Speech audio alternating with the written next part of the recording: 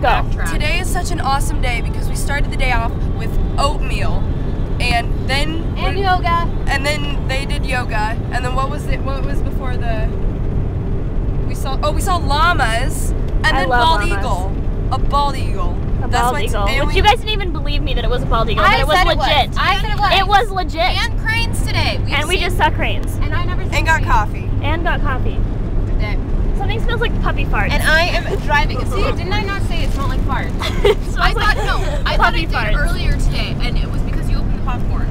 Oh, it's popcorn. It's puppy farts smell like popcorn. puppy farts smelling popcorn.